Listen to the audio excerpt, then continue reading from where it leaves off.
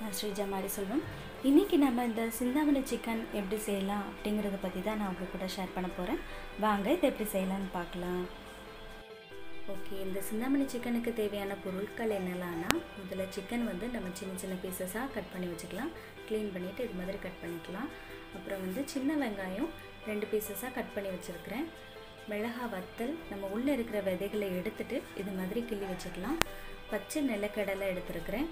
அதோட கொஞ்சம் கருவேப்பிலை கொஞ்சம் தேங்காய் பல்லு பல்லாக கீறி வச்சுருக்கிறேன். அப்புறம் வெள்ளைப்பூடு இஞ்சி வந்து நான் துருவி வச்சுருக்கிறேன். நீங்கள் வந்து இடித்து கூட வச்சுக்கலாம். அதோட கொஞ்சம் உப்பு கொஞ்சம் மஞ்சள் தூள். கொஞ்சமாக நான் அதை வந்து தாளிக்கிறதுக்காக நெய் எடுத்துருக்கிறேன். இது கூட நம்ம நல்லெண்ணையும் சேர்த்துப்போம். அதோட ஃபஸ்ட்டு வந்து நம்ம சிக்கனை நல்லா க்ளீன் பண்ணி வச்சுட்டு அது கூட கொஞ்சம் உப்பும் மஞ்சள் தூளும் சேர்த்து கிளறி வச்சிடலாம். இதை கொஞ்ச நேரம் நம்ம ஊற வச்சிடலாம்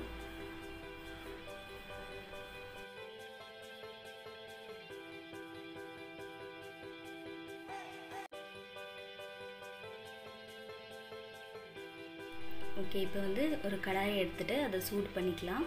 அதில் கொஞ்சமாக நெய் விட்டு உருக்கிக்கலாம். நெய் உருகினதுக்கப்புறமா நம்ம கொஞ்சமாக அதில் நல்லெண்ணெயும் சேர்த்துக்கலாம்.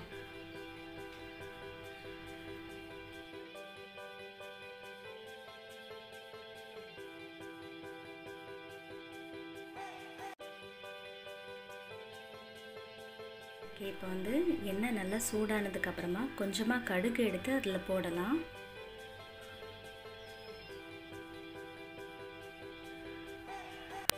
அப்புறம் கொஞ்சம் பெருஞ்சீரகம் போடலாம். ஓகே கடுகு சீரகம் நல்லா பொரிஞ்சதுக்கு அப்புறமா நம்ம கொஞ்சமாக அதில் கருவேப்பிலை அப்புறமா சின்ன வெங்காயமும் சேர்த்துக்கலாம்.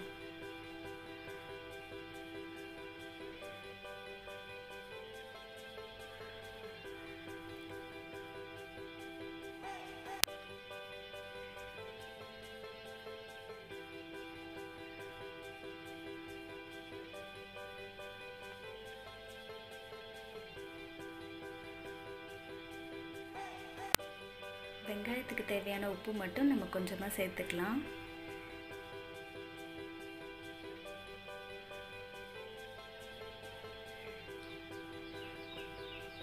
ஓகே வெங்காயம் வதங்கினதுக்கு அப்புறமா நம்ம வந்து இஞ்சி போட்டு துருவி வச்சுருந்தோம்ல அதை வந்து இதோட சேர்த்துடலாம்.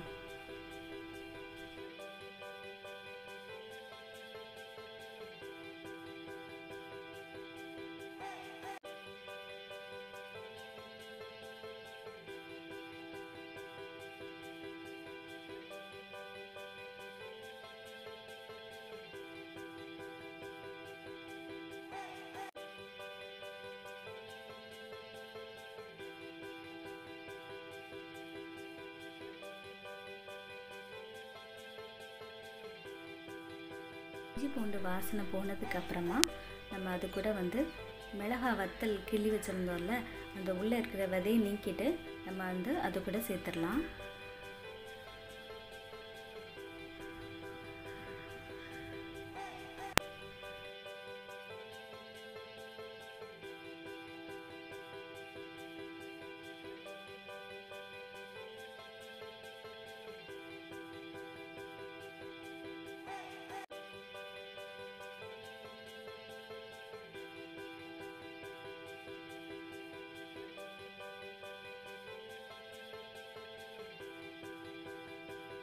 இப்போ வந்து நம்ம மஞ்சத்தூள் உப்புத்தூள் போட்டு வச்சுருந்தோம்ல அந்த சிக்கனை வந்து அதோட ஆட் பண்ணிக்கலாம்.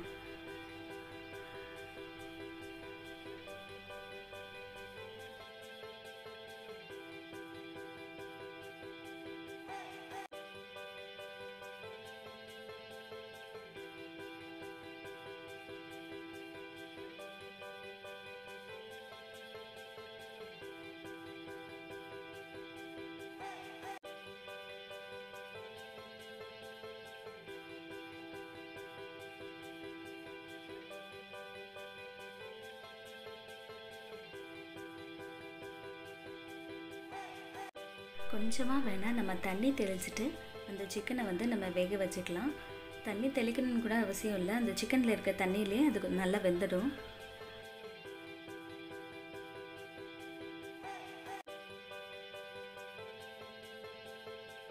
சிக்கனை வந்து நம்ம வேக வச்சுட்டு இருக்கும்போதே நிலக்கடலையை வறுத்து இது மாதிரி பொடி பண்ணி வச்சுக்கலாம்.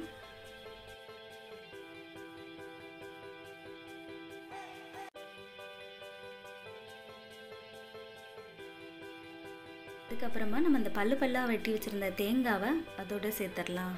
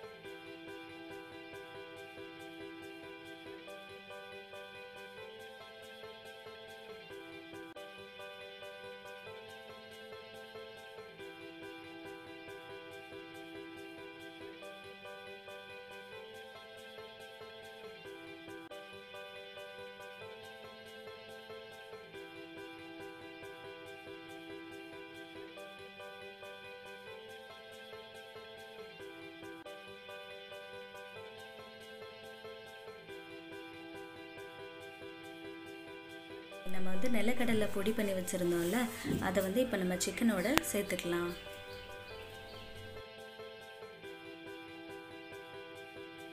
ஓகே நம்மளோட சிக்கன் வந்து நல்லா வெந்துருச்சு அப்படின்னா நம்ம வந்து இறக்கிடலாம்.